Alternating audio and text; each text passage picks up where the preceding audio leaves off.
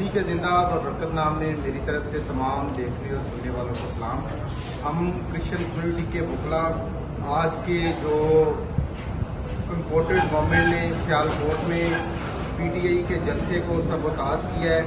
उसमें एक पूरी प्लानिंग के साथ मुस्लिम लीग नून के दो एम पी इसमें मुलवस है, जिन्होंने एक पॉलिटिकल जलसे को सबोताज करने के लिए इस मैटर को जो है वो रिलीजियस रंग दिया है। इससे पहले इसी जगह पे ख्वाजा आसिफ दो जलसे कर चुका है।